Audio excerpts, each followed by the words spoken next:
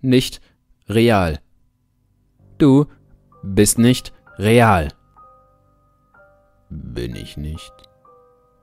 Du bist nur in meinem Kopf. Wie kannst du dir da so sicher sein? Die knarrende Stimme ist näher gekommen und mit ihr auch ihr Atem.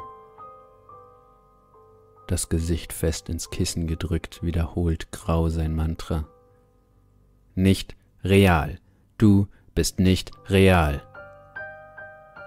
Die Dielen seines großen Schlafzimmers knarzen. Die Schritte kommen näher. Der Atem wird lauter. Er ist regelmäßig, kontrolliert. Plötzlich haucht die Stimme, die Grau so bekannt vorkommt, direkt in sein Ohr.